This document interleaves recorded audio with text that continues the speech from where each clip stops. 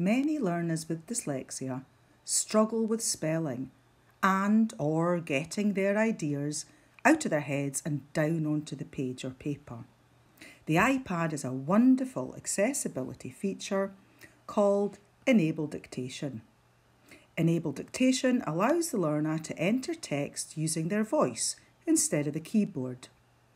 This works across many apps. What a huge bonus this is if you're struggling with writing and spelling. So let's make sure it's switched on before trying it out. Let's go to settings and you're not going to find this one under accessibility, you're going to find it under general. So under general, you are looking for keyboard. And once we've got our um, keyboard up, let's scroll down all the way down until we see dictation, enable dictation. And we're just clicking on enable dictation. Okay, that's us, ready to go. Let's open a keynote. Okay, now here is a learner who definitely cannot spell or indeed use a keyboard. He is just going to tap where he wants the text and then tap the microphone icon beside the space bar. My name is Kianos and I am 16 years old, full stop.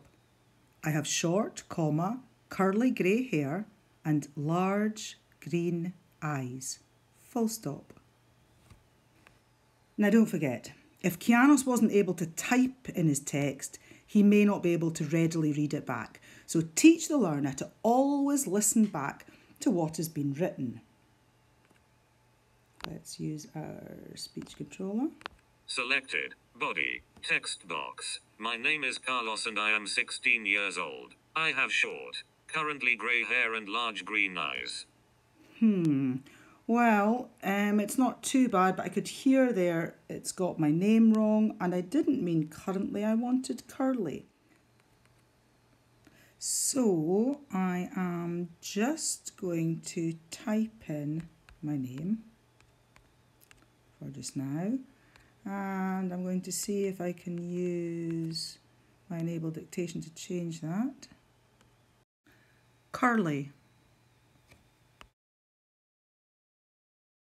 And I'm going to listen to that again. So where's my speech controller gone? Selected. Body. Text box. My name is Pioneus and I am 16 years old. I have short, curly grey hair and large green eyes.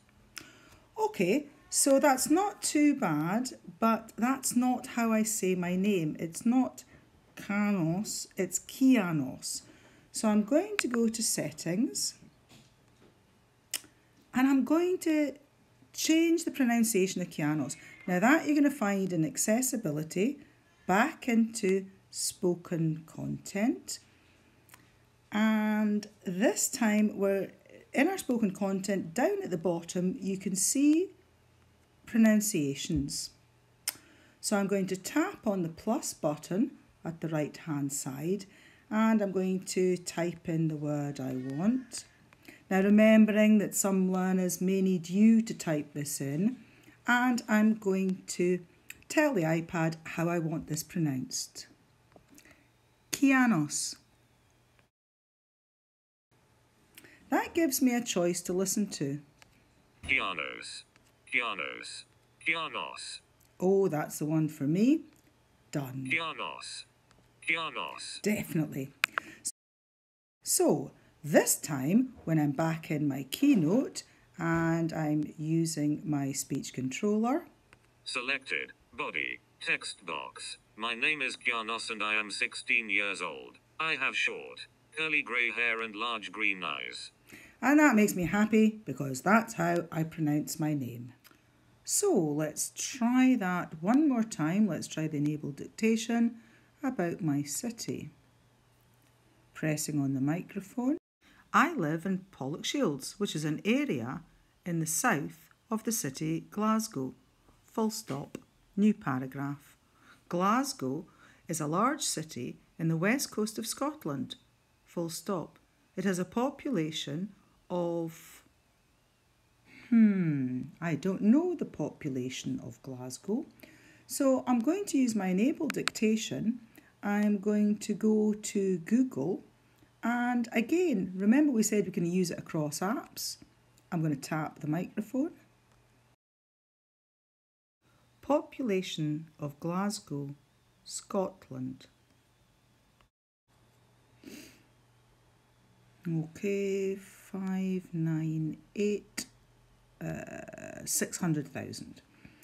Back to my keynote.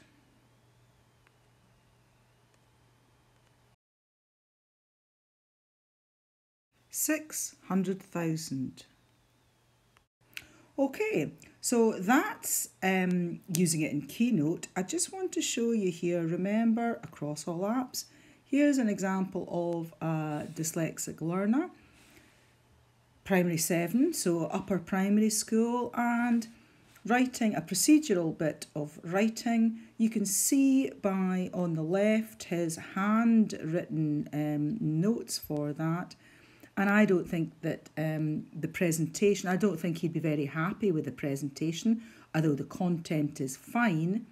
Being given um, a template in pages and being able to dictate gives him the kind of presentation on the right.